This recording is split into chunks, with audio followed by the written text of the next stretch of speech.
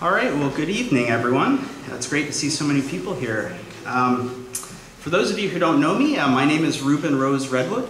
I'm an associate professor of geography at the University of Victoria and also the current chair of the uh, Committee for Urban Studies, which puts on the City Talks. Uh, and it's really my, uh, my pleasure uh, to welcome you all. Oh, to welcome you all to the first lecture uh, in the City Talk series for fall 2013. Um, as many of you already know, the theme for uh, the series this fall is Religion and the City. Uh, and it's also co-sponsored uh, by UVic's uh, Center for Studies in Religion and Society. Now, in the spring, uh, not to get too far ahead of myself, uh, but in the spring, we'll be shifting focus with the theme of security and the city. And I assure you that there will be more details on the website, uh, in the near future. I should also note that this year's City Talks um, have been supported by a grant from the Social Sciences and Humanities Research Council of Canada uh, as well as a number of departments and faculties at, at UVic.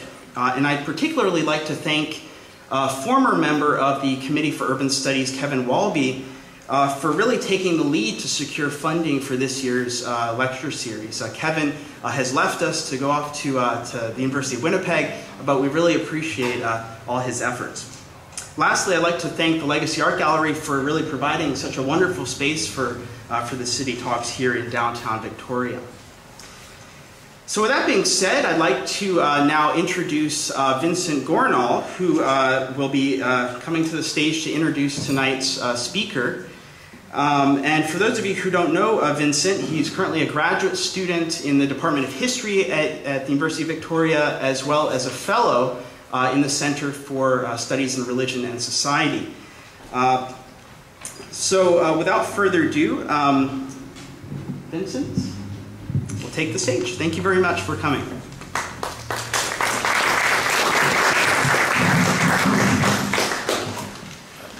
Thank you, Reuben, thank you all for coming. It's a great pleasure to see another packed house for this series.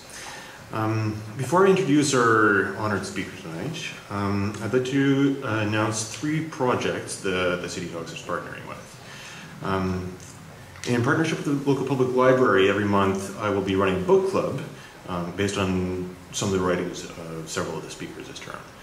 Um, I will also be leading a series of city walks to go along with the city talks to engage people in various themes of each of the lectures in a very local environment. So we'll be taking people around to various sites locally um, and exploring how they relate to the themes in each of the lectures.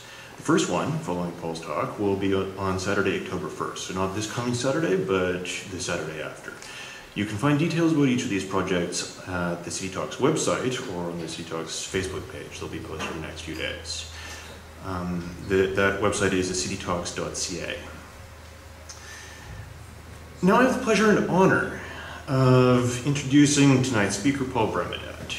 He is the director of the Center for Studies in Religion and Society at the University of Victoria and a renowned scholar of religion in various aspects of religion in Canada.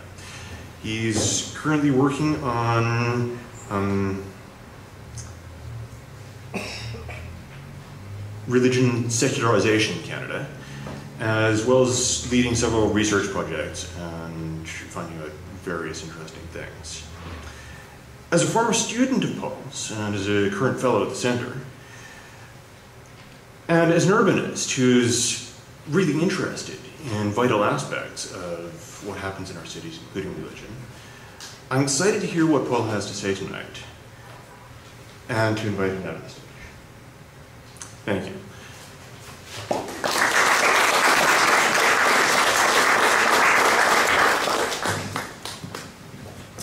All right. Hi, everybody. Hello. Everyone's so quiet and well behaved. Jeez. It's like it's a church or something, or an art gallery.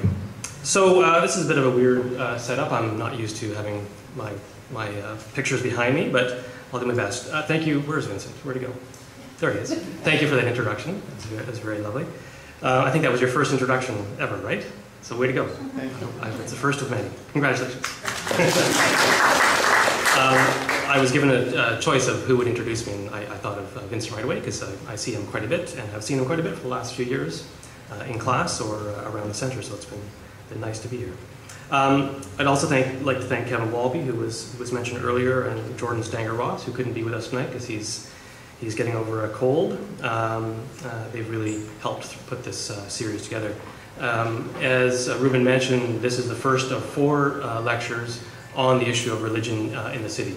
The next three speakers, one is from uh, Toronto and two are from Montreal. They're colleagues of mine, and they are urbanists of various persuasions. Um, one is an anthropologist, one is a political scientist, and the other one is a religious studies scholar. So I think you're going to really um, enjoy uh, what they have to, to share with you. Now, what I really want to do tonight is kind of lay the groundwork for the kinds of conversations I want us to have uh, over the next uh, four lectures. And I think what's important for us to do as a community is to sort of begin to make sure that when we think about religion in Canada, and, and really when we mean that, when we say that, we really mean religion in the city, because uh, most of the data is, is focusing on, on cities. I want to make sure that we kind of have a common um, empirical framework uh, in mind for what's happening to religion in Canada, because there are some very uh, dramatic changes uh, underway. Um, now, the, the general structure for this evening is perhaps a bit unusual. Instead of me speaking for an hour and then you guys getting really tired and pretending to, to be engaged in a conversation, what we're going to do is I'm only going to talk for, I think, 25 minutes or so, so that you'll all have, have fresh uh, minds when you come to the next section. And the next section is going to be responses from six community members, um, responses to some of the things I'm, I'm talking about. And then we'll have a probably half an hour or so period of uh, community conversations. We have those kind of three, three sections of uh, this evening.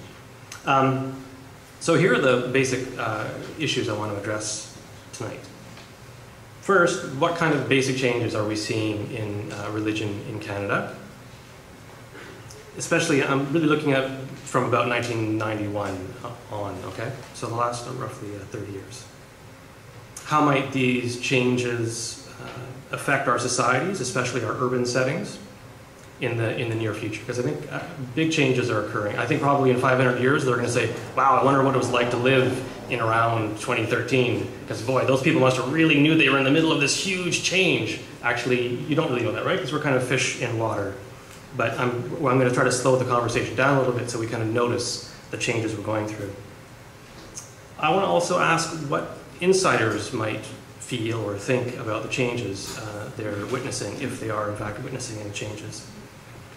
And then finally, uh, in the third section of, of this evening, I want us to all talk uh, together about the changes that you're experiencing in, in whatever uh, part of the public world you come from. Now, we have uh, six guests, friends, colleagues, uh, students of mine. Um, the first is Dr. Siobhan Chandler, who is a research fellow at the Center for Studies in Religion and Society. Um, I call her an expert on the spiritual but not religious movement because, in fact, if there's anybody doing any serious research on religion in Canada and they wanted to look at the SBNR cohort, that's what we call them, the SBNR cohort, Siobhan is really one of the only people who's done any significant work on this this phenomenon or this cohort. So we're very, very fortunate to have her with us in Victoria and especially to have her with us uh, at the center. Um, Lynn Greenup, from, who is a member of the Jewish community and also a teacher within that community. Ali Hamado, who's a member of the Muslim community and also a student of mine now, though perhaps he regrets that by uh, second, second week of September. Um, Father Dean Henderson, who is the uh, Roman Catholic chaplain at the University of Victoria. Reverend Logan McMenamie, who's an Anglican priest. He's at uh, is a dean at the cathedral at Christ Church Cathedral and also a fellow at the center uh, right now. We're, we're kind of stealing him from Christ Church for the next uh, little while. And finally, uh, Alan Saunders, uh, minister at the United uh, Church, um, Metropolitan United Church. And um, I, as, as, you see, I organized that um, alphabetically. I was thinking historically, thematically, but it just gets complicated and people's feelings get hurt, so I just did it alphabetically. Um, okay, now before we talk, let's talk about why it's hard to talk about this topic, okay? Um, some of you probably heard the news when this happened. Uh, so once upon a time, Canada had a very um, well-respected uh, census um, procedure where every 10 years they asked people what religion they were. Okay, and they asked that It was, and it was a mandatory census, okay? So that was actually pretty useful, and, many, um, many societies around the world uh, looked upon us with great envy for the kind of data we were able to get, not just about, about religion, but about uh, many things. Um, I don't know, six or eight or 12 or a couple of minivans full of people in probably somewhere in Alberta complained about this because they said it was invasive. Uh, and lo and behold, soon thereafter, the, the survey was no longer mandatory and it changed from being a mandatory survey to being a voluntary survey. Okay? Uh, and really, the data that you get from a mandatory census versus a, a voluntary survey, it's quite different kinds of data. So right away, I want to just flag that as, as one of the inherent problems with the kind of, uh, kind of things I'm going to talk about tonight. Having said all that, um, one of my friends and colleagues from the University of Ottawa, Peter Beyer, who some of you uh, probably have heard of, um, he's one of the big number crunchers for religion in Canada. And so when any of us who study religion in Canada have a kind of an empirical problem, we usually call Peter. and He's very, very generous with his, with his uh, tables. And so what Peter did is he, he used uh, tables from 1991 when there was a mandatory census, 2001 when there was a mandatory census, and then after the couple of minivans of people in Alberta complained, uh, 2011 when there was a voluntary survey. Okay? Um, and, you know, there are some weird features of, of the uh, National uh, Household Survey. Um, but Peter's impression, and I think he's right, is that the, the trajectories that we see in the previous several uh, censuses um, are continued in the survey. So his sense is that the data that we're getting uh, for 2011 is, is not too bad. Although there are a few weird spots that just don't quite make sense, like what happens to the number of Pentecostals. So, for example, between 91 and 2001, the number of Pentecostals went down, I think, about 15%. This was a source of, of great uh, surprise to many Pentecostals who saw their churches growing, right?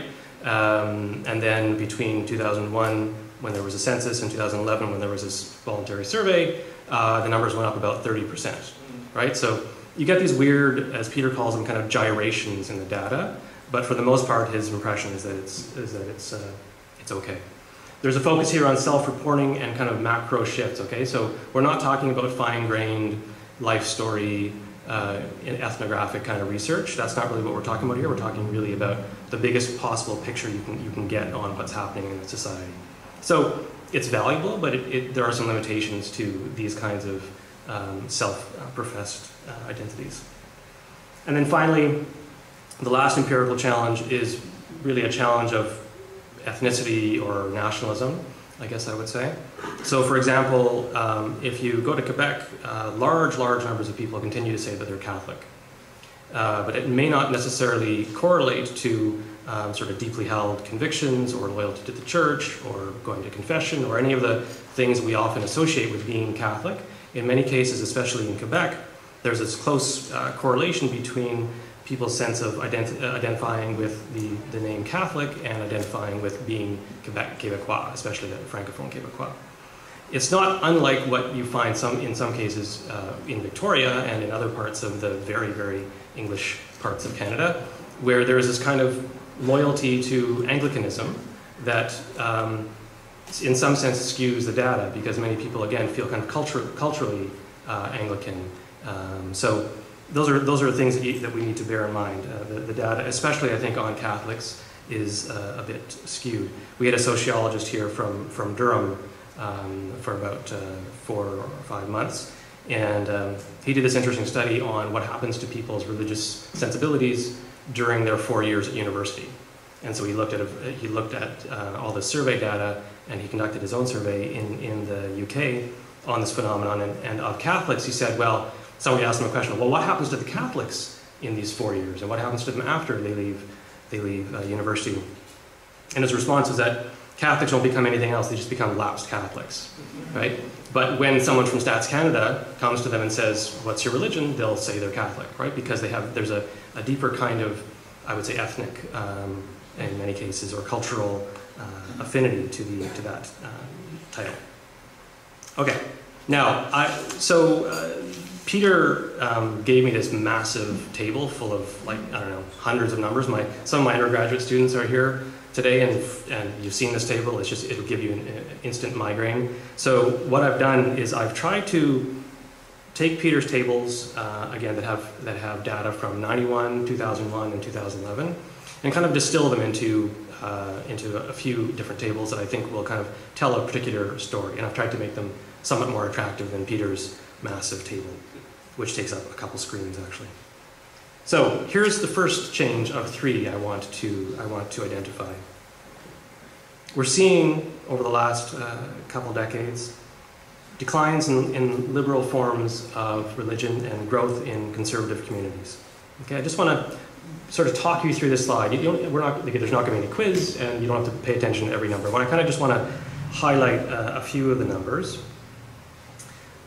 So you see here, there's really only been a decline of um, 1% between 2001 and 2011 in the Catholic numbers. Um, this, I think, is probably uh, understating the uh, reality. Certainly, many of my Catholic colleagues across the country suggest that's the case. Uh, and I think what we're seeing here is somewhat of one of those uh, examples of the, uh, the skewing effect that kind of ethnic and national identification has, especially in Quebec. The, the really, um, if, you, if you're a Christian, especially if you're a liberal Protestant, uh, the really bad news is here. Uh, so these, especially these churches here, United Anglican and Lutheran, they have gone down in this decade, 22 for the United, for uh, sorry, 29 and a half for the United Church in that 10-year period, 20% for the Anglicans, and 21 for the Lutherans. Okay, um, so those are significant uh, declines for some of these churches that have been around for uh, a long time in Canada.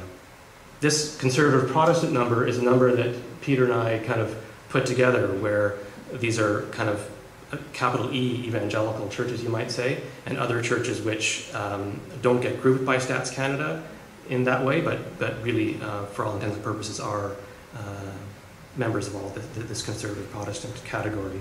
So you see considerable growth in the last uh, several studies. Okay, so 20, about 20 percent in the in the past um, in the past uh, 10 years. Um, and this, I, I, think I mentioned here, this these Pentecostal numbers.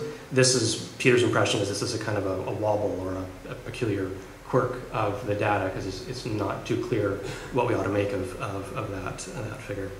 Um, the last two, this is very interesting. I look at the size of these increases, 154%, 110% in the last two uh, studies. Um, so what's important to bear in mind there is that these are Christians not otherwise specified. Okay, that's what the, that term means.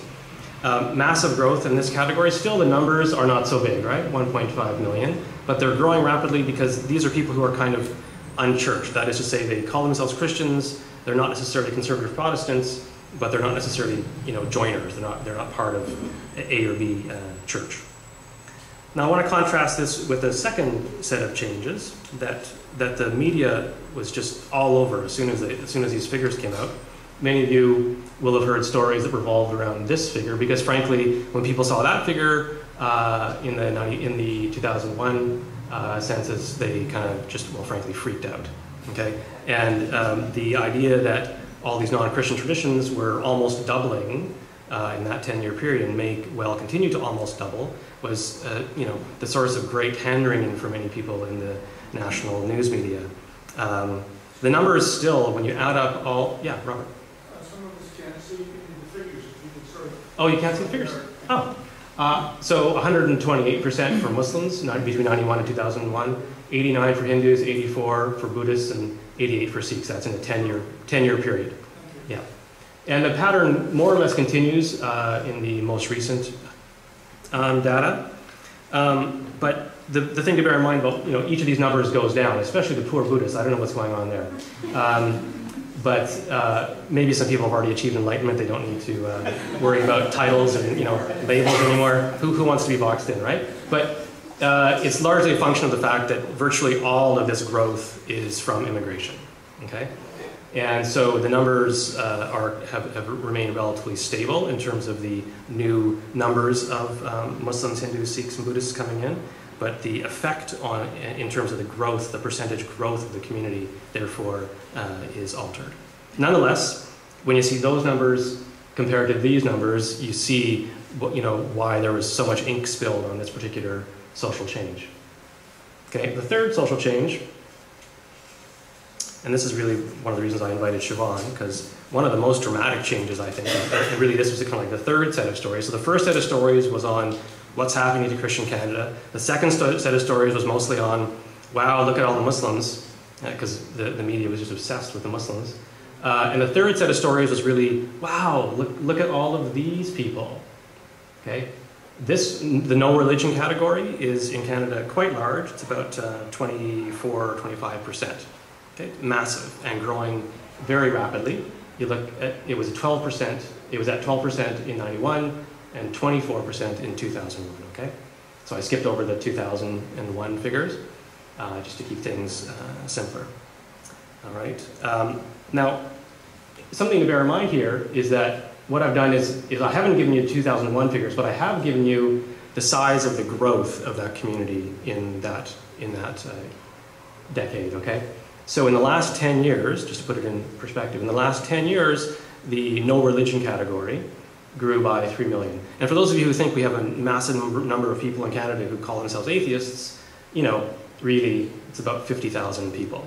So there's more people in Oak Bay than there are atheists in, uh, in, in Canada.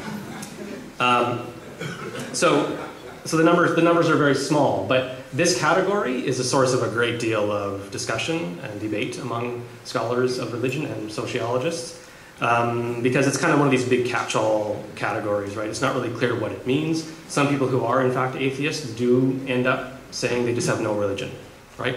And these are people who actually say, I am an atheist on, uh, on the National Household Survey or on the previous census forms.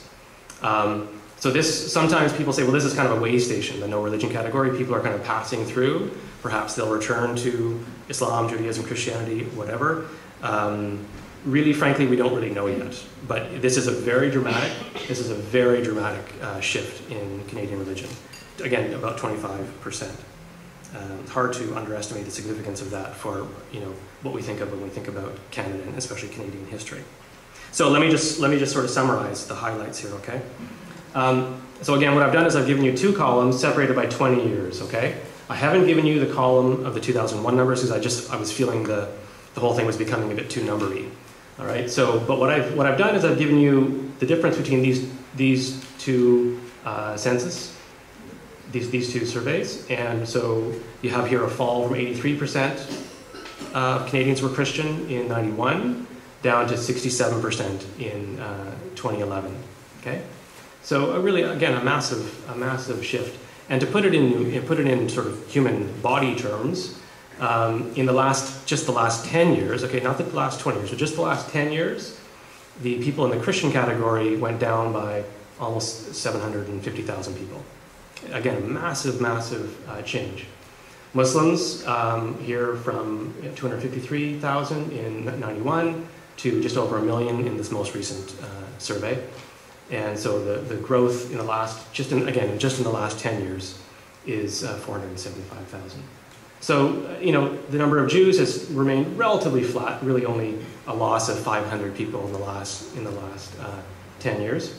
But again, here, here is the big number here. This massive jump uh, by 3 million people in the no religion category. Okay? So big changes. Now, um, just by way of wrapping up, I want to talk about um, a couple of challenges.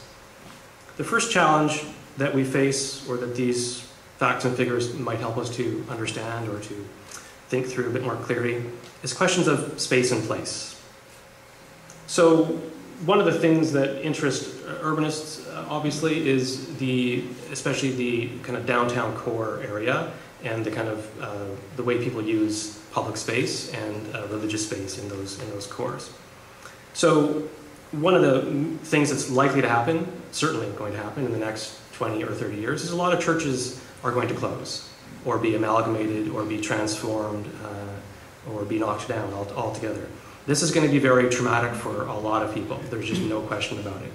Um, it's also going to really change the way our cities work because these huge spaces, which have been for so long used for one kind of purpose and have a, has a sort of symbolic function in the broader city, it's going to change dramatically. Many people are not going to recognize their, their cities in, in uh, 20 years. It's going to challenge, I mean, many of these places will be turned into, let's say, condos or other kinds of developments, which is going to be really uh, traumatic for some folks. If you live in Oak Bay, where I live, where they have rules about, you know, the kind of post box you can have and, and so forth, it's going to be really a big, a big uh, jarring change for a lot of my neighbors when they see some of their churches closed and to be turned into who knows what, uh, condos and other sorts of things. So um, I think also one of the things we see um, likely to happen is a, a, shift toward the suburbs for some of the newer um, communities that are growing very rapidly and can't necessarily afford to buy uh, a big space in downtown Victoria or Toronto or, or, anywhere else. So by, you know, by necessity, they need to move out to the suburbs. Okay, that is in some sense, I think, kind of a loss for uh, many of us because it kind of decreases um, the ethnic diversity of the downtown area if you're sort of farming out your the, the places of worship of people who are mostly not white and mostly uh, immigrant, um, it's going to change uh, things. Really, when, when uh, religious communities are able to build in the downtown area, I think it's a, a real benefit for a, a, culture to have that sense of uh, diversity uh, on the streets. It's really uh, quite a good thing. The next thing that we see is um, the potential for suburban kind of clustering. Many of you have been uh, through, or maybe even been to, the area of Vancouver or outside Vancouver, uh, often called the Highway to Heaven, uh, where there, it's kind of a special zone where they've allowed uh, all these religious um, buildings to be built. And so you have living next door to one another, you have Hindus and Buddhists and Sikhs and various kinds of Christians, Asian, non-Asian. Um, there's, there's a Gurdwara, there is a, uh, so it's just a tremendously diverse place. And uh, so that's an interesting kind of social experiment, and there's been, there have been a ton of uh, PhDs and books written on Highway to Heaven, in case you're, in case you're interested. Um, so this is, a, this is likely to be a pattern that we're going to see in the next while, not just in Vancouver, but in, in probably all big cities, where, where some kind of enterprising municipal leader is going to say, well, look, why don't we all these folks have a kind of a common interest. They need cheap land, and they need to have big parking lots, and they need they need to have a decent um, transportation. So make, let's let's cluster all these folks together. And there are some real advantages to that, actually. I mean, there's something kind of um, fascinating about the, the Highway to Heaven area. Um, there are tremendous tensions between the different religious groups. That is something which you don't normally hear about unless you, you um, dig around a little bit. Um, but there were going to be tensions between them if they lived in downtown Victoria or Vancouver or Edmonton anyway, right? So anyway, this is just a, one, of the, one of the changes. Now the next um, challenge here, this is something that um, I'm working on right now. I'm working on a SSHRC um, project right now on this, on this issue. So one of the things that um, religions, especially the established religions, and especially the Christian traditions have done uh, for Canadian society for a very long time is to offer a tremendous number of social services. Okay, whether, you know, whether we're talking about soup kitchens or women's shelters or English as a second language or French as a second language, uh, or temperance um, meetings or space for AA groups or whatever, um, religious groups, and again, these are mostly uh, Christian groups because they've just been around longer, have offered a tremendous amount and have essentially carried a fairly significant burden for the state because they're doing this for free, they're, they're renting out their space or they're uh, letting out their space, usually for free or for, for fairly cheap. Um, and it turns out that, you know, many of you are familiar with the, with the term the civic core. So it turns out there's about 6% of Canadians who are responsible for an inordinate number uh, or, or, amount of the, the sort of social good, volunteer hours, numbers of dollars donated, and uh, civic participation of, of other sorts. There's actually a second um, part of that uh, civic cohort. If you look at the next 23%, so if you look at about the, the, the sort of 29% of people who, who, give the most, that actually, that actually captures 87% of the hours, 78% of the dollars, and 73% of all civic participation. Okay? And then, so which that, these are all just interesting facts until you realize that when you look at what correlates to your involvement in this civic core, either in the 6% or in the other 23%, religion is one of the top three things that correlates. Age is the other, right? So being, uh, having the latitude to, to do this kind of work. But religion, involvement in a religious group or doing things out of religious uh, motivations, these are very strong uh, correlates to being in the civic core and certainly being in the 6%. So our society really has relied on this core for a very long time for lots of things.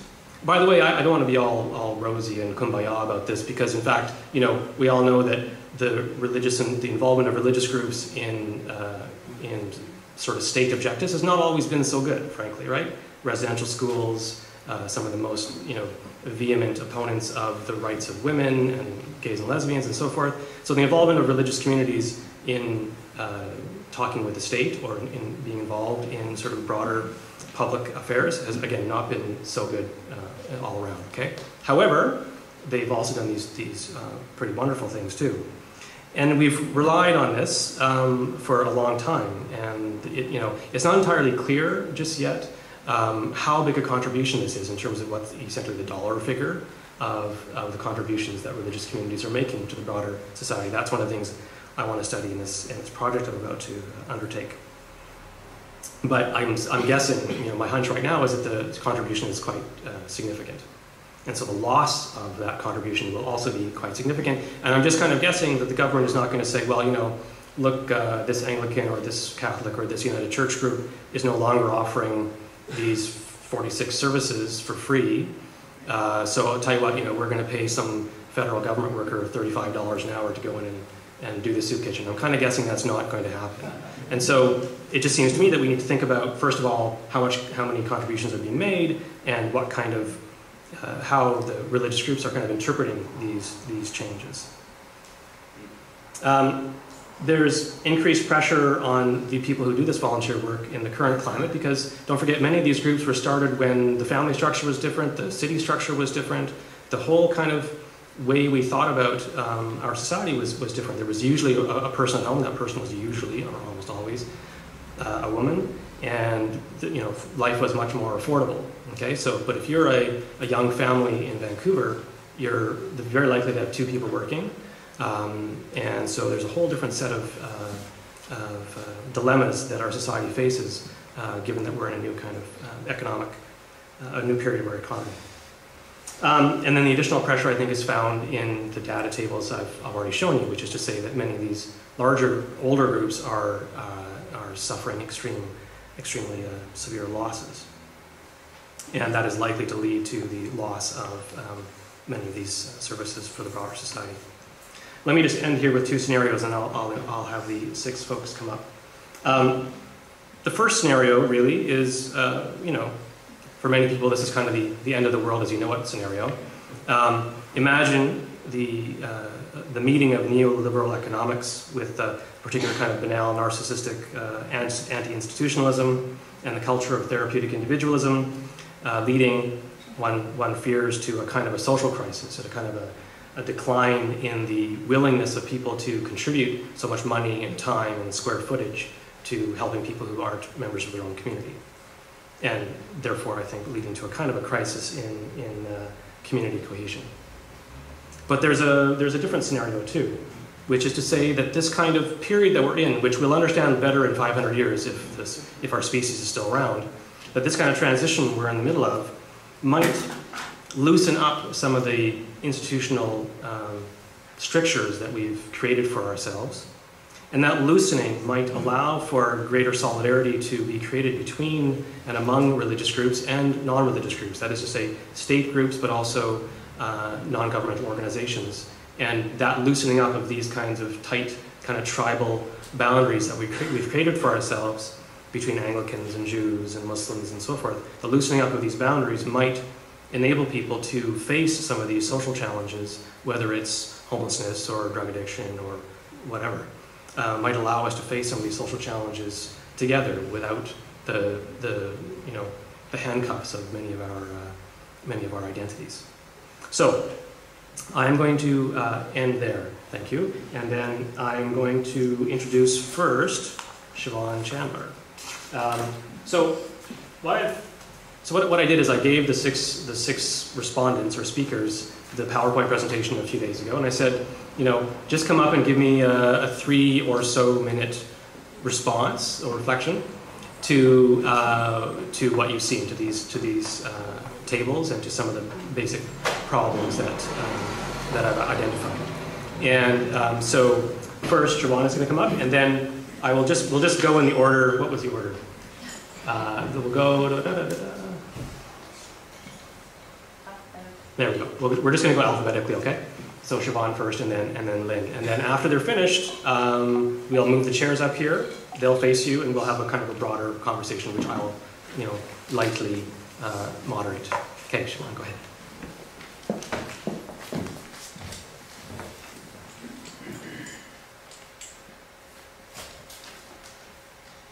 Good evening, everybody. Welcome. I'm very pleased to be here. Uh, I'll just move along quickly since three minutes is really not very long. so first thing I want to do is just clarify the relationship between uh, this data about religious nones, these, these people who say they have no religion, and people who are spiritual but not religious, which is really my area of specialization. So we do know from the data that about two-thirds of people who say they have no religion also say they believe in God. And about 58% of those same people will report that they have a deep connection with uh, the earth or with nature. And about one in five will say that they pray regularly. So we do know that being spiritual but not religious has some connection to being um, saying you have no religion.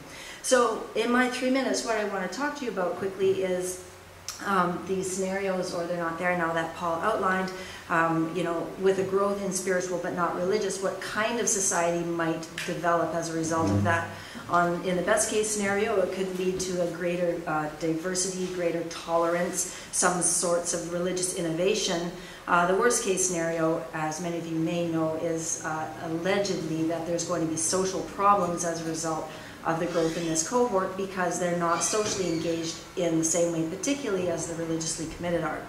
So what I want to do is just have you at the outset check three assumptions that you might have about what uh, being spiritual but not religious is all about. So the first of all is, uh, is this really not religion?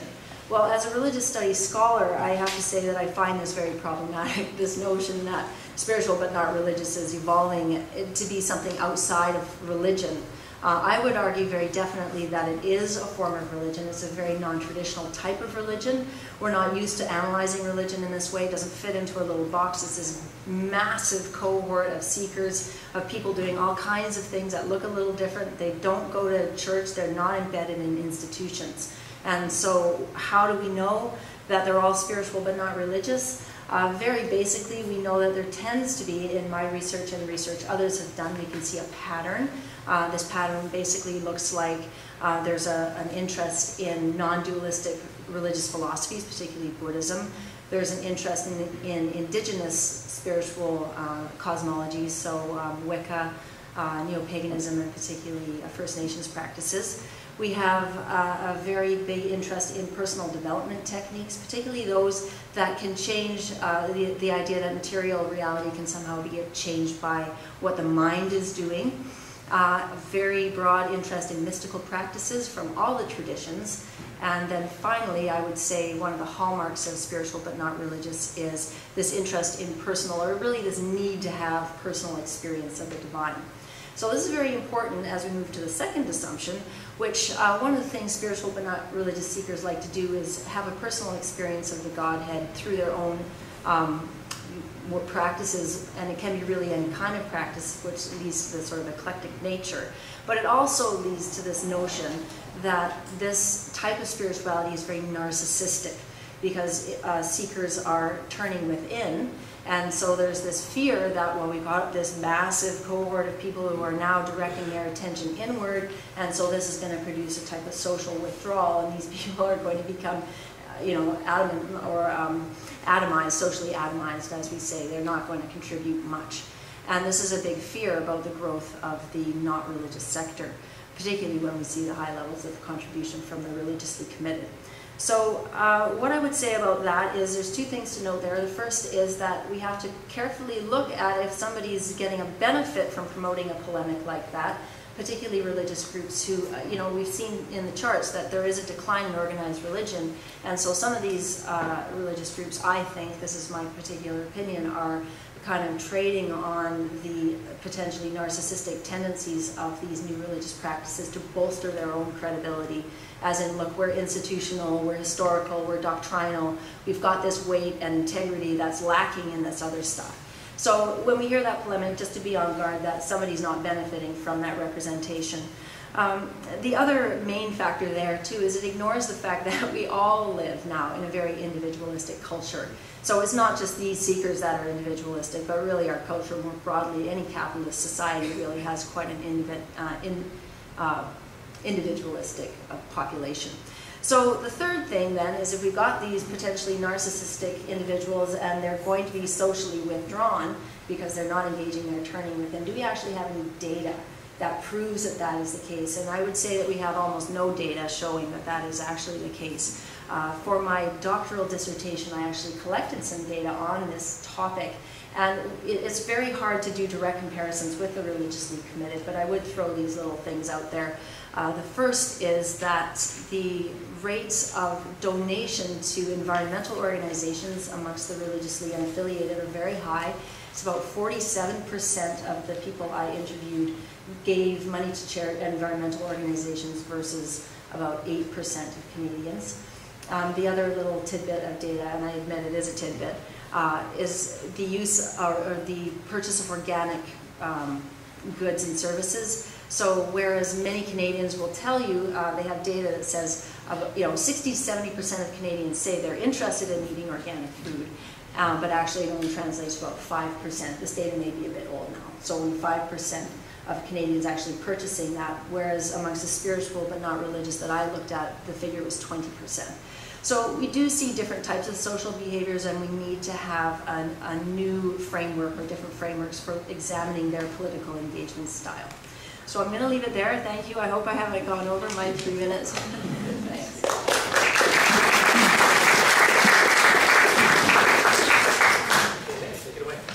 Okay, I'm short. Yep, ready. All right. Good evening, everyone. Uh, tonight is Simchat Torah. It's a festival of rejoicing at the giving of Torah. And I can probably guarantee that there's more people here than at the synagogue tonight, which is its own interesting statement, I think, about the discussion we're having this evening, the fact that I'm here. yes, interesting elevation. No, no, it's fine. So I, I, think that there are many, many questions. Since Paul asked me to be on this panel, I've had a number of conversations with other Jews that I know uh, what are the questions, what are the pushes for Jews in this form, uh, in this type of study. And I think one of the questions that comes up for all of us is what was the question that was asked? Because many, many, many Jews are not religiously affiliated per se, but are defiantly Jewish, whether they're culturally Jewish, secularly Jewish, whether they define themselves as culinary Jews. It's a very important identification. And, and I, I, I mean, it, it sounds a bit funny, but for many of us, food is the source of who we are, where our identity, where our identities are embedded. So I use culinary Jewish, but it's, it, it speaks of a familial identity that I think isn't necessarily picked up in a census or a national household survey. Uh, interestingly, we're here in Victoria, we're here in the Legacy Gallery, and one of the legacies the Jewish community has left Victoria, still in use, is Congregation Emanu-El Synagogue up at Pandora and Blanchard, a synagogue that I was affiliated with for many years. Uh, it is historically important in Canada as the only synagogue that's been in continuous use since it was opened in 1863. And it has gone through many of the meanderings that you described, Paul, in your introduction. Uh, in the 50s, going down to 10 to 12 families who really struggled to keep that synagogue open and there have been many conversations between those years, the 60s, the 70s, the 80s. Sell the building, keep the building, move to the suburbs. What are we going to do? What can we sell it for? A dollar. What's that going to buy?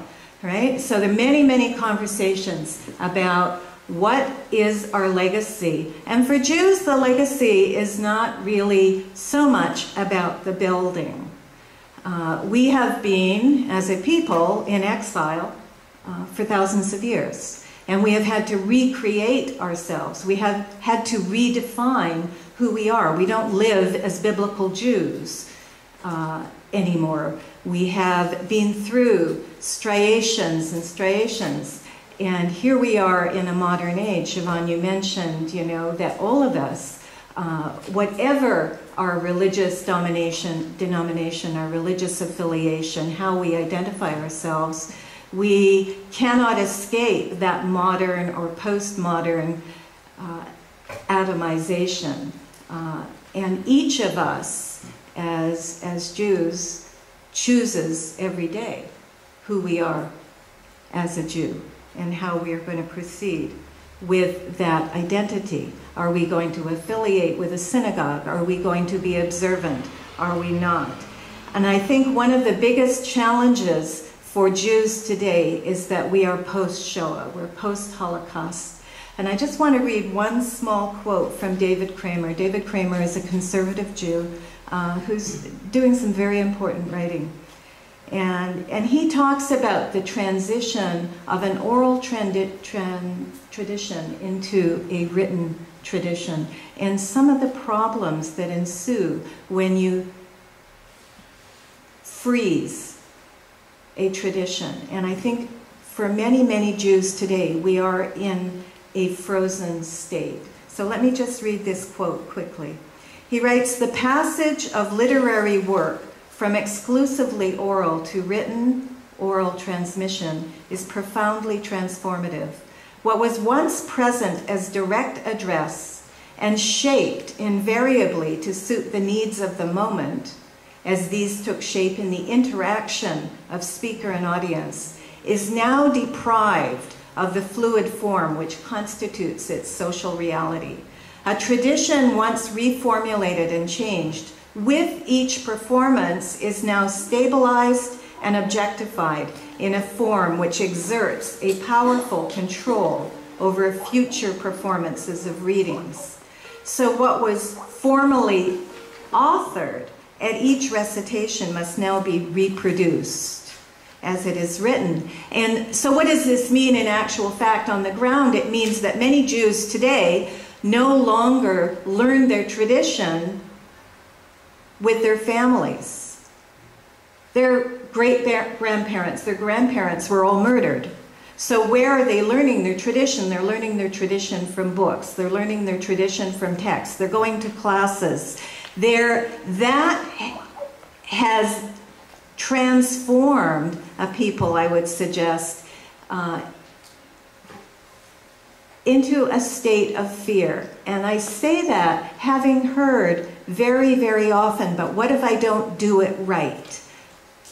I don't speak Hebrew. I don't know how to do this. I didn't learn this. And so we have now, we're now encountering a people who are learning from texts in a frozen fashion, having lost those generations who would have passed on the tradition to us in an oral form.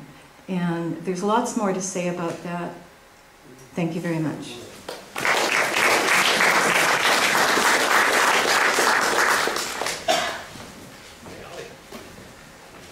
First, um, I would like to um, start with the Islamic greeting, Assalamu alaikum, which translates to peace be upon you. I would like to uh, thank Dr. Bramadat for allowing me to be here to share with you uh, information about my faith and community. Um, as Dr. Um, Bramadat um, mentioned that the growth for rates for Muslims are quite alarming and some people are freaking out about these numbers. Yes, definitely uh, these numbers are increasing and increasing more and which create a lot of uh, challenge for Muslims to cater for this increase. Um, I came here to Victoria 20 years ago and we were only about 50 Muslims. Uh, we didn't have a mosque, as a matter of fact, we rented a, a townhouse and we used to pray in a, a, living room of a townhouse. And our Friday prayers uh, were um, done at the University of uh, Victoria Interfaith Chapel. A few years after, in 1996, uh, we noticed that there is a dire need for um, a mosque. As a matter of fact, Muslim life uh, revolve around the mosque, and uh, people move to a place where there is a mosque uh, where they can observe their uh, five daily prayers, or at least whatever they can uh, observe if they are working or can't attend all the five daily prayers at the mosque. Um, with the help of uh, uh, God first, and then the community and uh, those who are generous, we were able to uh, purchase two properties located on Quadra, just across from Crystal Pool. Two old houses. Um, it's one of them converted to a, a prayer space for men, and the other one for women. they served us for about, I would say, um, 10 years, and then there is a great demand for a bigger place, and uh, the community came together and um, uh, redeveloped the whole site. And uh, we have now about 2,000 uh, Muslims in Victoria. And this increase definitely uh, a lot of challenges uh, for us. The growth of um, in the numbers of Muslims in, in Victoria or in Canada in general brought a lot of positive changes to the people. Uh, but at the same time, uh, it made Islam um, a bigger target to those who oppose it.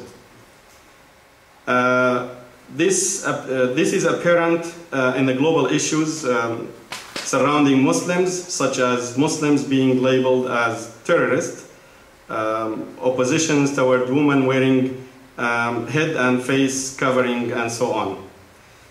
And this grow, uh, growth, uh, of course, uh, as I mentioned, um, create challenges for our future uh, generation, uh, catering for uh, children and youth.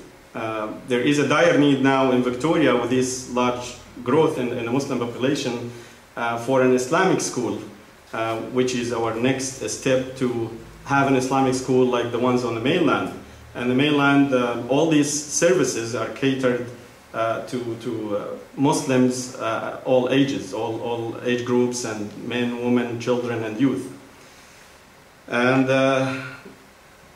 as you know, Islam is, is a comprehensive religion and is valid for all time and all places. we have to, um, as, as, Muslim community here, we have to cater to, to these um, uh, new and future generations. As uh, Dr. Bramadat mentioned, that immigration is one of the uh, uh, reasons for the increase of, of the Muslim population. Also, um, uh, fertility rates also contribute to that. Um, as an old member here in, the, in, in Victoria, um, every year I sign a, a new passport applications for newborns uh, quite often, which we have about uh, 20 new babies at least every year born here in Victoria. Um, basically, that's um, all what I would like to share in these three minutes. I thank you all, and um, may God bless all of you. Thank you.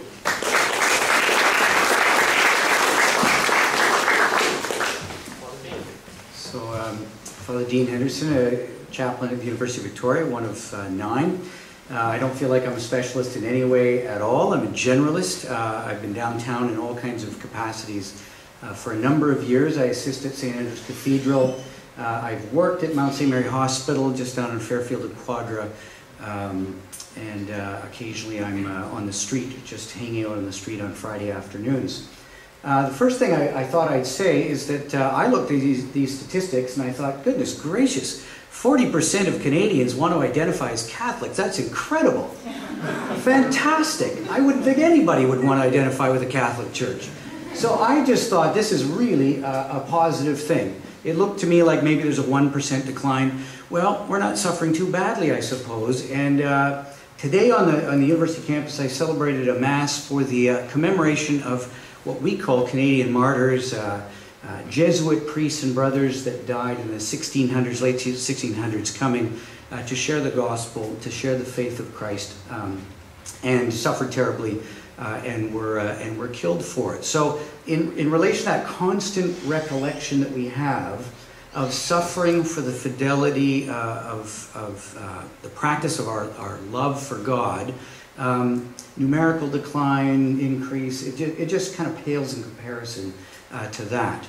Thinking of the downtown area um, and thinking of buildings and what buildings represent, the cathedral's full, it's active, there's lots going on, and I do recall a, a priest coming out from Quebec uh, who was serving to fill in for a, for a priest who was on holiday, uh, just absolutely amazed, thrilled that so many people were actually coming, uh, coming to uh, the church and coming to Mass. Uh, so things are good as far as worship goes, I would say, the downtown core. Underneath the cathedral uh, is what's called the 910 Club. Uh, it's, it's full. Uh, we've got lots of people down there from the street community that are being regularly served uh, by uh, an army of volunteers and have been for about 40 years with uh, a daily substantial meal that's free of cost. And I meet with them regularly and they're really thrilled. So that, that's going really well. Sisters of St. Anne have been in the, the, the city and the province for a long, long time. Uh, they still oversee Mount St. Mary Hospital, which is full of 200 beds, long-term care. Uh, that's going well, even though the last sister, um, well, there is one more sister who still serves on the staff at the uh, at the hospital, but their order is in uh, is in some decline in Canada. Uh, in the city as well, we've got a school, St. Andrew's Elementary School. Uh, it's just in the process of being sold. Uh, so we've had a presence in terms of education, and that school's amalgamating with St. Joe's, so it's part of this demographic shift out into the suburbs. I think that's a bit of a shame and a bit of a loss. Uh, we also have St. Vincent de Paul affiliated with the Catholic Church, which serves social needs of, uh, of people on the streets, low-income housing. Uh, the the, uh, the St. Vincent de Paul oversees um, a housing complex as well. So there's, there's um, all kinds of things. I think we suffer, um, in, in, some ways we suffer a credibility crisis. Uh, two things come to my mind. Paul, you mentioned it, the, uh, the history of residential schools. Uh, there's a lot of work we need to do to heal uh, and to reconcile and to hear the truth of what went on. So that's a, that's a work in progress. I've been uh, sitting in on healing circles uh, at the University of Victoria First People's House to just try and be part of that. Um, a second thing, of course, that's really affected the uh, credibility of the Catholic Church, which needs to be addressed, answered, and, and, and resolved, uh, is uh, some of our clergy uh, abuse situations. That's ruined, uh, that's ruined our reputation in a terrible way. And so guys like me have to work really, really hard to, uh, to repair some of the damage. And that could be years, decades, uh, decades of work. Uh, so we're live. Uh, we just had World Youth Day down at uh, Rio de Janeiro with the Pope, Pope Francis. 3.7 million young people gathered on Copacabana Beach and celebrated a closing mass. we're not going anywhere. We're not dying uh, we're pretty happy, actually, for the most part, in spite of it all. We're pretty happy, so thank you.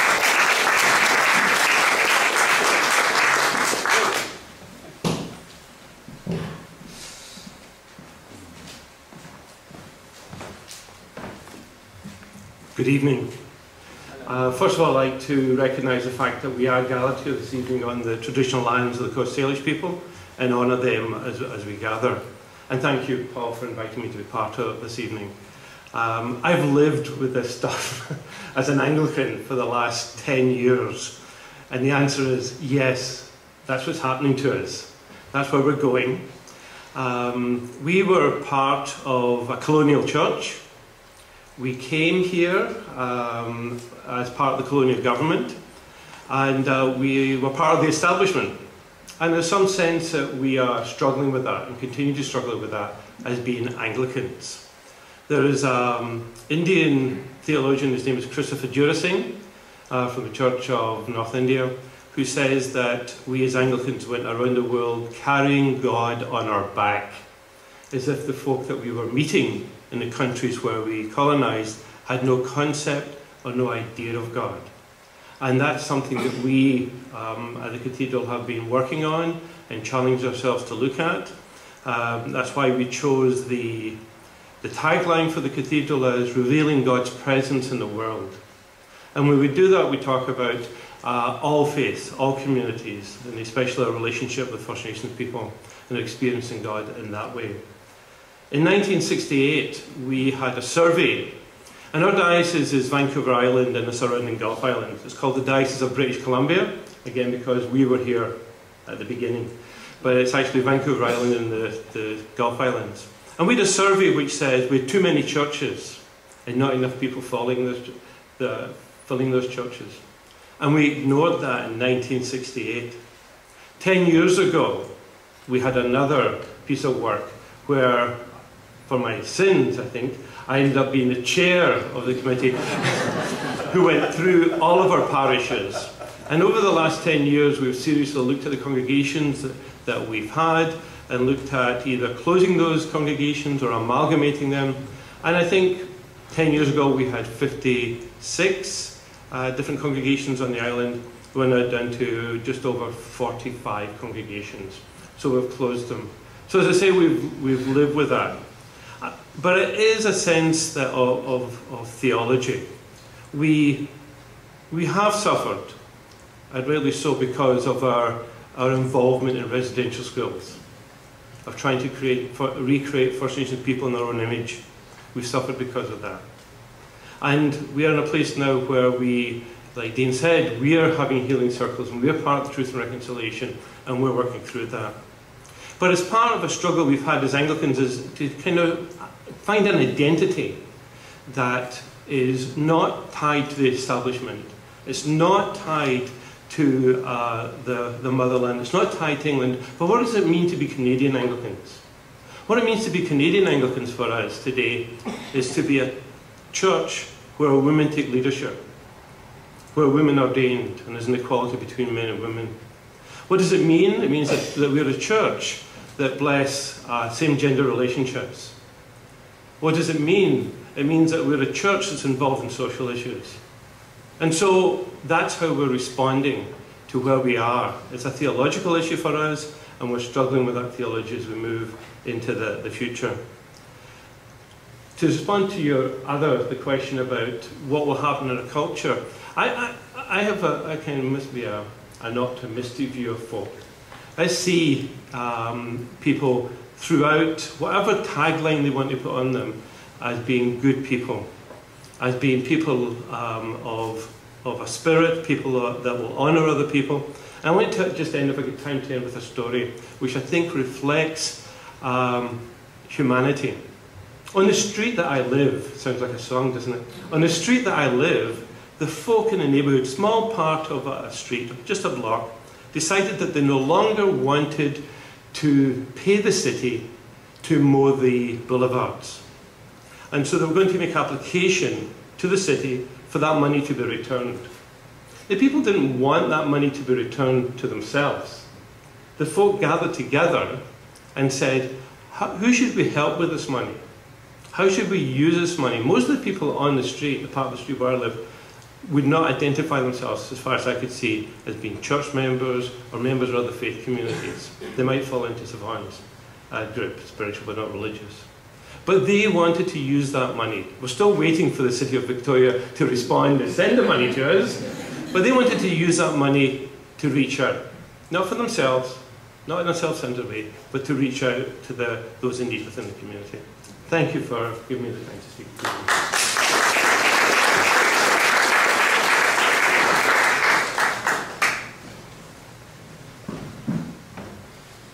Good evening and uh, greetings from First Metropolitan United Church. Uh, uh, Tammy Lindell, who uh, has started out just uh, recently as our half-time spiritual care minister at our congregation, her other half-time work is as the spiritual coordinator for hospice. And she tells me that by far the largest faith group she encounters there is the spiritual but not religious. And uh, I wanted to focus on something just a little different than that, that uh, is catching my attention. I think within that group, there's a significant group that I would call spiritual and a little bit religious. and I'm encountering them every week. And uh, that is, as I see situations change, that's uh, something that's catching my attention. Uh, these are people who uh, are not into big dogma. They're not into uh, a lot of duty and, and uh, shoulds and all the rest of that. They're into following their passion. And it seems to me that, that uh, the West Coast has already, always been a bit more individualistic than the rest of Canada. And with some of the developments, technology is encouraging that more and more. When I was growing up, we could sing all evening just Beatles songs that we knew together. But now, you know, you're hooked into your own set of songs to listen to. It's very individualistic. But these individuals who are flying around like little particles, every now and then they cluster around something that's exciting for them, where their passion is. And so that's where I see such phenomena where uh, people, we call them friends of first met. They may go to another faith group, they may have no other faith group whatsoever, but they get together with us when we do an inner city dinner for 250 people. Or they get together with us when we put on a, a major conference, or, or when we uh, see that there's a lack uh, in our school system these days, and we put on uh, sexual health education, and hundreds of people come out for that. Uh, we find that they're willing to partner with us in a whole variety of ways, and that's part of our tradition. Before the United Church of Canada was formed in 1925, there were a few thousand union congregations across Canada. And one little village I knew, for instance, they had Quakers, they had Baptists, they had all sorts of folks who said, listen, let's get practical here. Let's work together for the common good in this small community. No sense having our own little uh, uh, fiefdoms or whatever. And, and that was a major part in the movement that created the United Church of Canada in 1925. And so that's part of our heritage at its best, is that type of respect and tolerance and working together towards some shared cause. So uh, we do that in, in a variety of ways. Um, for instance, we uh, partnered with uh, Will Weigler uh, and a, a, group that were putting together some community drama based on the book Unsettling the Settler Within, and created this wonderful community drama on what do, uh, we do as settler citizens of Canada in response to residential schools. And Judge Murray Sinclair had invited Will then to give a presentation in Vancouver just last week on that. Those sorts of partnerships really excite me. And we don't have to be front center on it, but we're looking for ways in which we can partner. We're partnering with jazz musicians right now on a series of music and reflections. Uh, we're partnering uh, with some doctors that approached us this week to see about uh, a special series they offer now on relaxation exercises for people facing various forms of stress. Uh, so it's that is sort of a continuation of looking for the common good in, in the community. Uh, certainly, many of my colleagues at times, I'm sure they feel like they're managers of uh, BlackBerry. Uh, uh, there's changes going on for sure, huge changes. And, and I find both within our core and the people on the edge of our congregation, one of the key changes I see is it's not that loyalist group anymore. There's not the brand identity. What they're looking for is something that truly excites them. We have a, a member of our congregation has been uh, about her third time to Africa and there for several months working with uh, orphans because of HIV AIDS. She's not there out of a sense of duty. It's because it's her passion. And so we're looking for ways to, to team up with other communities and seeing where do we have some shared vision and we can work together on this. Uh, one of our long-term partners uh, has been the Intercultural Association of Greater Victoria, which is housed in our building and has been for uh, over 15 years. We're talking with them very seriously and with the Victoria, uh, Greater Victoria Housing Society about the opposite end from our sanctuary, how we might redevelop that area. Uh, and again, uh, we don't have to be front center about that, but we're looking to work for the common good. And I think uh, for various traditional faith groups to be looking for those folks, the spiritual and a little religious, you'll be quite amazed at some of the partnerships you can forge. Thank you.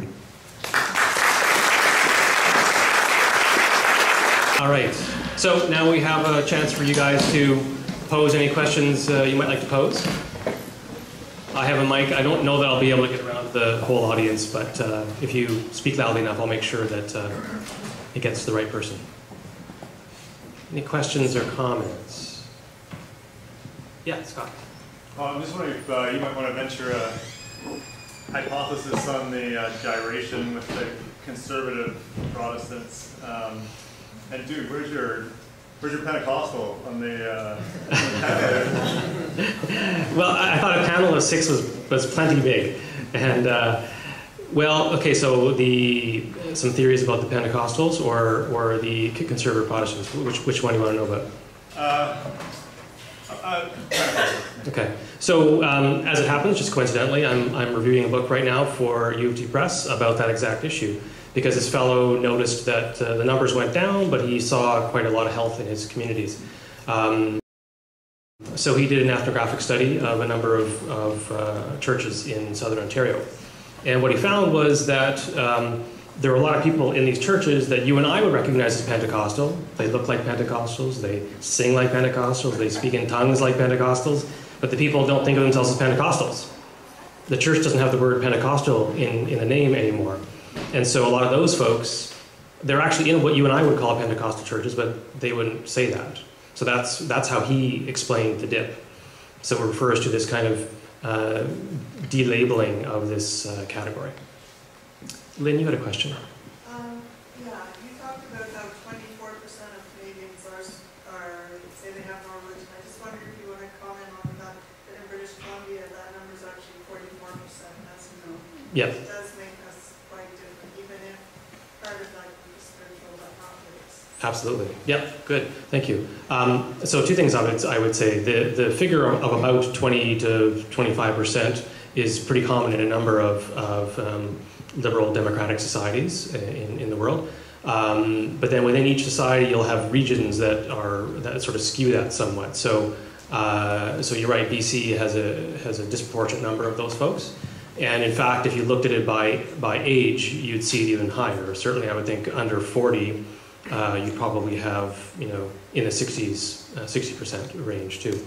So I mean, and, and your own work has reflected on this issue too. And I think Alan might have mentioned this toward the end that there is something about this place that has tended to uh, attract people who are more uh, oriented toward a kind of a experiential or an experimental form of, of spirituality, if they're oriented toward spirituality at all, or oriented toward you know issuing the category altogether. So yeah, you're right. Terry. Yes. Are, are there any examples of um, the the churches represented here uh, and the faiths represented here working together or even talking about working together to address social renewal. When you say social renewal, what do, what do you... mean, in the city, we're talking about the urban situation. So to what extent are some of the urban issues being addressed in an interfaith, with interfaith initiative? Al? Uh, our congregation years ago gave birth to an organization called the Open Door, which has morphed into Our Place. And Don Evans, the new director there, is doing remarkable work. And something I note is that he has engaged a variety of faith groups. I know the synagogue's been involved and so forth uh, in participating in the, the good work of uh, Our Place. So that's one, one great example. And uh, Logan and I invite you to hear John Bell next week, next month. But so, so we're looking at some some part ways of partnering. But I would say something like Our Place is is a key example because uh, our place is for all all of us to support. You know, whether we're of any faith group or no faith group.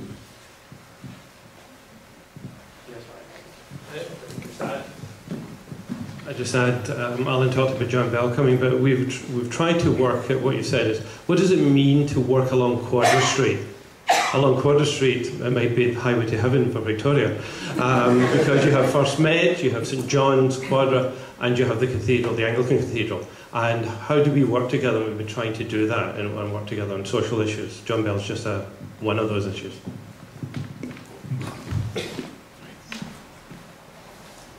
Yeah. I'd like to give you a little bit of a different perspective. I come from a generation that uh, lives by the song Imagine. There's no heaven, there's no hell. Mm-hmm. And so when we talk about uh, spiritual, non-religious, it's so easy to go to that place because I see the phenomenal work that's being done. It's, it's you know, our society, I really don't think could uh, exist without it.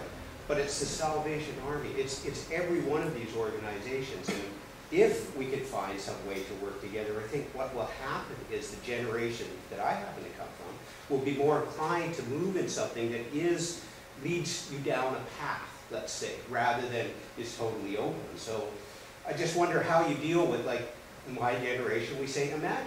There is no, For those of you who can't see him, he's, he's in his early 40s. Uh, so, uh, or any.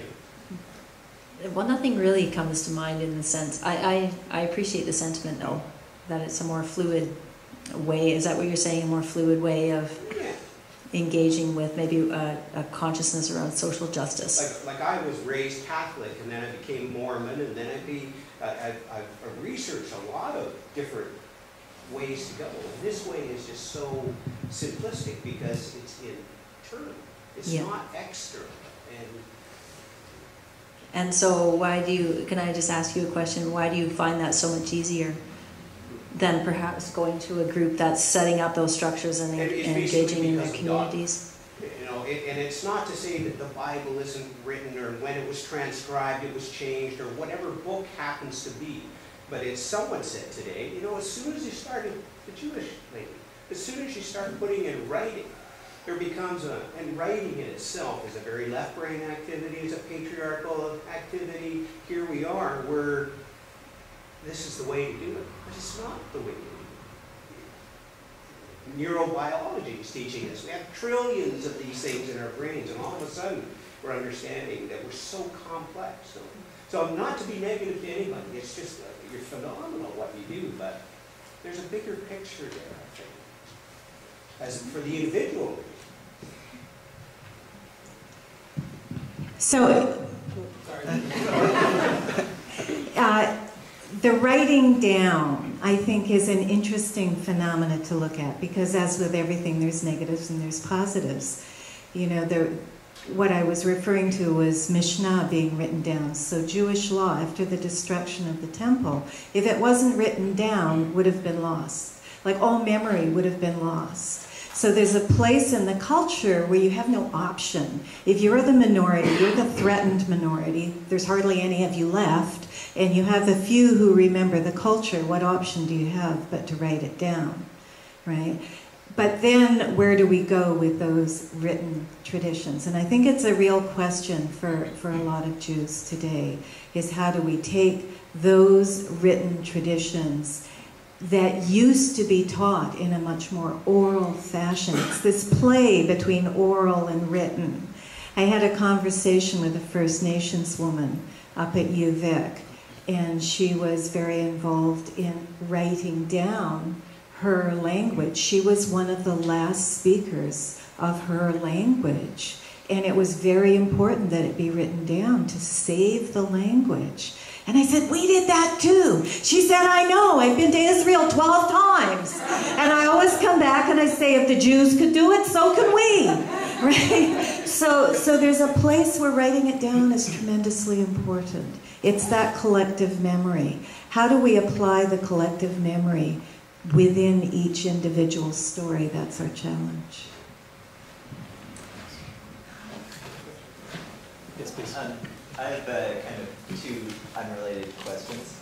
Um, one might apply more for the uh, various Christian uh, uh, representatives here.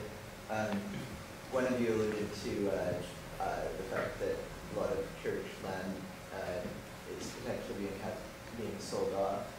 Um, and I was wondering, I, I unfortunately I don't know the context too well, how church finances are in various de- denominations, considering the decline in membership in some cases, and whether that land is uh, generally intentionally being sold for uh, uh, social service uh, issues such as lower income housing, or the like, uh, in, in line with the, your values, or if you're feeling compelled to sell to a higher bidder for because of those constraints and how that might make you feel. And the other question I had was um, uh, more for you concerning, uh, you, you mentioned that uh, kind of the increase in uh, conservative Christian denominations and a decrease in liberal ones. I was wondering if there was any comparable data for non-Christian religions. Yeah, I try to share that. They're, they're all growing. Um, Or uh, in terms of political orientation? Oh, uh, no, I don't believe we have that data, actually. Um, I mean, yeah, I, I, wouldn't even want to speculate on that. I mean, really, many of the folks that we're talking about here are really first generation, probably 80, 70, 80% of the Muslim, Hindu, Sikh communities are first, first generation folks. And so they have a different set of concerns. They're, you know, many of them are, are sort of survive, just trying to survive and get their kids uh, integrated well into schools and careers and so forth. So it, we'll have to sort of, uh, in order to, to, you know, compare and contrast them in a meaningful way with the, the more established, uh, if you will, white churches, and Protestant ones especially, we'll have to let them integrate for longer to be able to do that. But, but by that point, um, many of the uh, existing churches will be in a um, much more uh, strained situation, I think. But your first question, could you just recap the question? Because I think, yeah, Logan can answer that. I'll try and respond to the question because I said about us uh, selling off church property, and we've done that over the last number of years. Um, and we've also moved out of some of our property, and we rent that property to other uh, other uh, faith communities as well. So the conversation we're in at the moment is a conversation exactly that relates to your question: is what do we do with that money that we get from these places? Um, part of the problem is we're in a major transition at the moment, major change, and because of because of um, income and, and, offerings going down, uh, and because of some things, I speak for just for the Diocese of British Columbia, um, because of some mistakes we've made in the past with our finances, we needed to use some of that money to get us back on level ground, right? To pay off some debt we had to ourselves, some money that we used. But there is some ideas that are coming out where a portion of that money, uh, we've called it New Wine Ministry, uh, new initiatives, that will go back into those communities and be used for, for to do church differently, uh, to work at church differently. And I've just been around the diocese to most of the regions in the diocese, and the things that comes up more and more and more is the social aspect of the church, like social housing, ministry with seniors and children. One of the things that we lost uh, was selling off the properties, um, or the communities lost, was daycares, places for Alcoholics Anonymous or, or 12-step programs to meet, uh, places for um, community groups to meet. That's what we, we let go. Along with the buildings, we lost that, and, and those communities lost that as well. And how do we regain that, that involvement within those communities? Uh, yeah, sorry, uh, oh. about one more question. Okay. Sorry, just sure. It's yours. Uh, yes, uh, thank you. Um, uh, there's something that I, I haven't heard any of you speak to, and that was um, what I perceive as being a growing community of single people versus couples. Uh, when I was uh, involved in churches, uh, the uh, the single people were was a very small percentage, and uh, we were quite awkward, and nobody exactly knew what to do with us. Uh, there really wasn't a, a biopic way, if you will, to include single people or married people. Uh, and there was numerous attempts at it, and so what we did is, is not only go to other churches and meet other single people and that way, that way. But, uh, of course, my world got bigger with single people. But uh, that's, I don't know if that's actually happening or, or is that just my situation. Do you want to direct that to anybody? Uh, anybody who can speak You're all married. Almost all do. All right, I'll jump in there. I think, uh, in terms of Judaism, for a single person to be a member of the synagogue or the shul, or I, I, think it's much harder. I think everything is very much directed to families. A lot of Jews don't even consider joining a synagogue until they have children themselves. You know, I've seen surveys where uh, single Jews have been interviewed about joining a synagogue, and there's like, like, why would I do that? I don't have kids. So it's, you know, I mean, but that, that is the reality that, that I'm speaking to. Um, and, and so I think it's a huge issue that, that Jews are beginning to look at. I think there's no question coming to the floor here where Jews haven't asked of other Jews. You know, the, the whole idea of 50% out marriage and assimilation are huge, huge issues uh, for an already minority group. And then when we stigmatize people within that group, we, you know, we're just exacerbating the problem. I think it's a huge issue. It's a very important issue for here in Victoria. Single women, it's a huge demographic here. Uh, in fact, you can go into synagogue before they started counting women in the minyan in the sort of requisite required number of 10 to proceed. If you didn't count the women, you were really stuck because it was the women who were coming to the services, and often many of those women were single. So it, it's a real social, religious, political is, issue with all manner of ramifications if you're dealing with a, a larger legal framework that questions the very participation of women. So. What, what comes to my mind is, the, is just simply the fact the Latin tradition of the, of the Catholic Church uh, has a high regard for the celibate state and people who uh, sense a call to priesthood uh, or to religious life. And so increasingly we pray for vocation, for priests, for religious, but also for people who are called to the single lay state, uh, for married people, for families. Um, that doesn't necessarily translate into uh, community uh, instantly for the single person, lay person in the community. Uh, but but it's, it's an expectation in our prayer uh, and in, uh, in our efforts at ministry to sort of include everybody in the wider family of, of the church. Whether we do it very well or not is another question. So, uh, Reuben, if I just by way of, of closing, uh, there are some of my undergraduate students here who are considering the possibility of writing a paper on the basis of this kind of uh, conversation. And if, if I was one of you, I would say that some of the things I've heard is, especially um, with you three guys, the whole question of the legacy of residential schools, all three of you mentioned it, I, I mentioned it, it's a really important uh, fact that you're grappling with. Also, the question of what's happening with um, the younger generation is a really you know, challenging fact you're dealing with. And also, uh, Lynn, you mentioned the issue of legacy with, with respect to the Shoah and how to understand contemporary Judaism uh, kind of in the shadow of the Shoah. And the question of prejudice about SBR folks being superficial, narcissistic, and not contributing to society, and Muslims, you know, struggling with many stereotypes that, that you have to struggle with. You know, I, I, I guess those are the, would be the themes I would see as kind of running through your your uh, your talks this evening. And um, I would just like to thank City Talks and uh, thank all of you for coming out tonight. Um, the next, um, I should say, hang on. I have a screen that gives you some information on that. There are four talks. Um, these are the next talks in the center, and this final one is the, is the next City Talks lecture, which will be here uh, at 7.30 with my colleague Annick Germain from uh, Montreal. So please join us for that, and if you want to come out next Thursday to the university, we have our regular uh, Thursday lecture series then.